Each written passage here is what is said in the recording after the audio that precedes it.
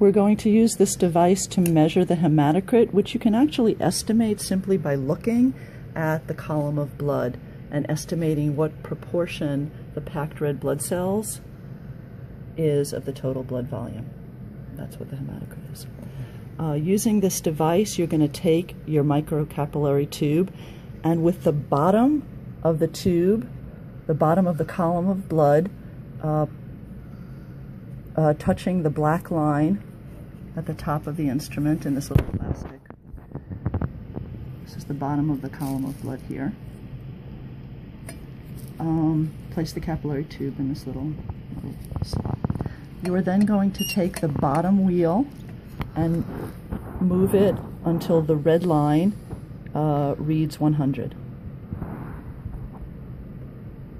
Mm-hmm. Can you stop it for a second? Holding the bottom plate in place, you are going to move the top plate until the spiral line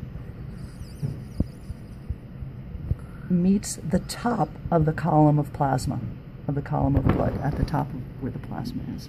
If you're looking at it from this angle, it's even below the line. So, oh. I, I, mean, it doesn't have to be so exact, but but if if they're if they're just not looking at it at a camera, they're looking this way, just above it. That's right above it is, is the top of the line. Okay, perfect. Okay. Perfect. Okay. Then moving both plates together, uh, move the spiral line until it reaches the intersection of the red blood cell column and the plasma. Mm-hmm. The number that you see is the hematocrit. In this case, 43%.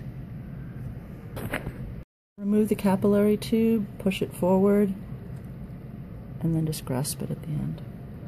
Remember to dispose of all sharps, uh, including slides, Pasteur pipettes, capillary tubes, um, needles, of course, in the sharps container.